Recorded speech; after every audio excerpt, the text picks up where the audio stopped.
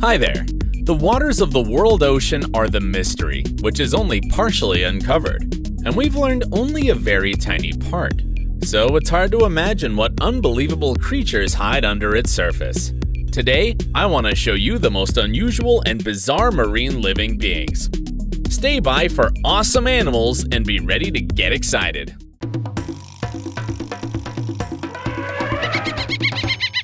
And let's start with the sea bunny the sea slug, which is officially called Jorunna parva. It got its name because of its resemblance to the fluffy creature. But the slug, of course, doesn't have any fur that a bunny has. And what you're looking at are groups of small rods known as caryophyllidia, which cover its back. The bunny-like ears are not ears either. They're sensitive organs, rhinophores, and they help the cute slugs to identify chemicals in the water that allow them to find food and mates but they're not as cute as you may think because they are extremely toxic. Even predators prefer to stay away from them. In other words, appearances are deceitful. In spite of the fat, this thing looks like a rock. It's a living being, actually. This is called Pyura chilensis, a sea creature that lives on the rocky coast of Chile and Peru. Pyrrhua is non-moving, sac-like marine invertebrate. This strange thing has no limbs, no legs or claws, no eyes and no mouth or a face of any kind. On closer look, its outer layer is composed of tunicin, a type of exoskeleton. It's made of substance, which is a kind of shell. But inside, the living rock has a layer of skin and muscle and blood. That's why the insides look red. There are a lot of shark species in the ocean, but the goblin shark is completely unique. Looking at this creature, you can guess why it got its name. The goblin shark is a real living fossil. It's the last living member of the family of sharks known as Mitsukurinidae. This shark has been around for more than 100 million years, even before the dinosaurs appeared.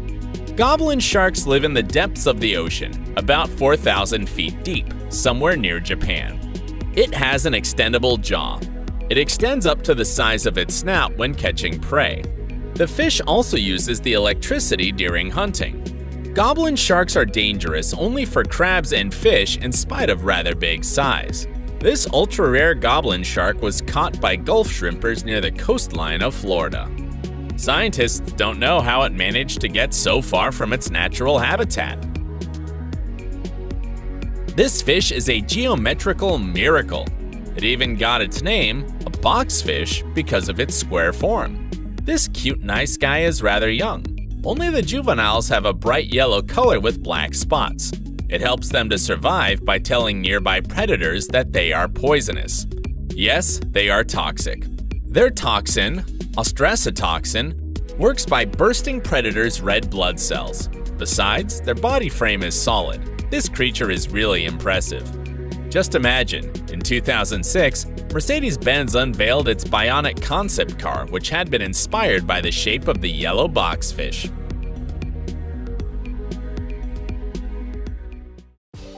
Looking at this amazing thing, the first thing that comes to your mind is that it's a plant, but it's really not. These creatures are called crinoids, or sea lilies. They are echinoderms, the animals that are characterized by their rough, spiny surface and five-fold symmetry like a sea star. Sea lilies can grow really big, up to 100 feet long, and can have up to 200 arms. And they can detach body parts at will. They have neither eyes nor a brain, but have a mouth and an anus located next to each other. These beauties thrived in an era 250 million years in the past. Many animals of that period disappeared, but these ones still exist. This reddish-orange mollusk lives in clusters in the caves of Indo-Pacific coral reefs. This bizarre thing creates flashing light shows. The shows are so bright that they can be seen without artificial light. That's why its common name is the disco clam. The flashes are created by a double layer of specialized tissues, which enable it to scatter ambient light. The tissue edge is filled on one side with nano size spheres made of reflective silica, chemically similar to window glass. The clam needs these flashes of light to scare predators away.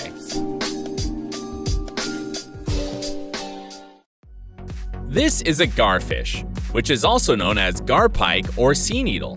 The fish got their name because of their very thin body. They're an excellent eating fish found in the Northeast Atlantic and the Mediterranean seas. But the most interesting thing about them is the blue-green color of their bones. The flesh of the creature is also bluish-green. The scientists say their green skeletons are caused by a pigment called biliverdin, and it's absolutely harmless. It's hard to imagine a more unique fish than the mud skipper. The point is that it doesn't need water all the time. The mud skipper is a so-called amphibious fish. It means that it lives in water and also spends a significant amount of its time out of water. One more fascinating fact about mudskipper fish is that it can climb rocks and trees. The fish is able to survive on the solid ground during low tide. It can also breathe out of the water. To do that, it uses the gills, mucous membranes of the throat and mouth, and capillary network in the skin. The mudskipper likes to rest on its roots, rocks, and other objects located above the surface of the water. It sounds strange, but too much time under the water can actually kill a mud skipper. Sometimes these amazing fishes are kept in captivity. Look at this guy. He even eats from the man's hand. Here is one more living fossil, the nautilus. The nautilus is a cephalopod and a close relative of octopuses and squids. But its main feature is that, in appearance, they have not changed much in millions of years. Besides, nautiluses are the only cephalopods who have an external shell. The shell is divided into chambers, which are filled with gas and water. By changing the amount of gas, the nautilus regulates its buoyancy. The creatures have an extremely fascinating way of moving. They move by jet propulsion. In other words, they eject a huge amount of water through a siphon. The position of the siphon determines in which direction the Nautilus will go backwards, forwards, upwards, or downwards. They spend their days on the sea bottom, but go to shallow waters when the sun goes down. In spite of such an incredible story, these things are not very rare and are often kept in aquariums. Look at this Nautilus eating a delicious fish. Watch the way this fish moves. Large Largehead hairtail can't be mixed up with any other fish because it has an extremely elongated and strongly ribbon-like compressed body, and this body construction influences its moving. The large largehead hairtail are usually steel blue in color, with silvery reflection, pectoral fins which are semi-transparent, and their mouth contains long, barbed teeth. On hunting, a hairtail floats vertically near the surface of the water, when a fish swims above them, they attack and catch it with their teeth. Here is one more amazing creature that floats deep underwater. If you see it once, you'll never forget it. Now, they are thought to be the inspiration for old sea serpent legends. Today, this fish is the world's longest bony fish. It can reach a length of 56 feet and weigh up to 600 pounds. The silvery giant oarfish, as it is known, is sometimes called the king of herrings because it resembles this fish greatly. In spite of its size, the giant oarfish eats tiny plankton and isn't at all dangerous. Unlike other fish, they don't have a swim bladder. Instead, they roll themselves through the water with their pelvic fins. Wolffish, or sea wolves, are very widespread fish. Many of us know them from the dishes that they are prepared of, but few of you know how this creature looks. And it looks horrible with those teeth. Wolffish live on the ocean floor, and it can be found in water between 250 to 1,600 feet deep. The most prominent feature of the wolffish is a horrible protruding canine teeth. That's how the animal got its name.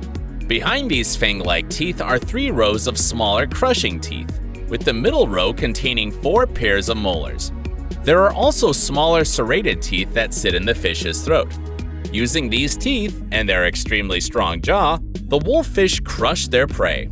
Just look how this monster's head pokes through the Coke can. I better not ever meet this monster except on my plate. That's the end of my dozen. I hope you've enjoyed the video. Let me know in the comments which creature you liked the most. See you!